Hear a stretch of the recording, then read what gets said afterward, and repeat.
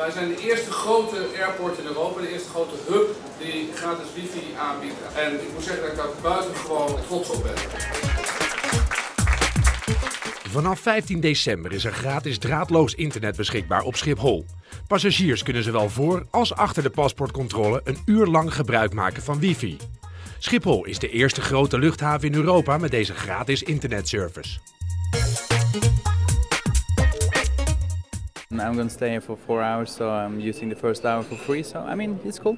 My plane was late, and so I didn't get the connection. And now I have to write emails and uh, use the time to, to bridge the, the waiting time. Yeah. Om gebruik te maken van gratis wifi op Schiphol, kiest u voor het beschikbare KPN-netwerk en start u de internetbrowser op. Op de inlogpagina heeft u vervolgens twee opties. Met de optie Free Wifi kunt u met uw laptop, smartphone of tablet een uur lang gratis online.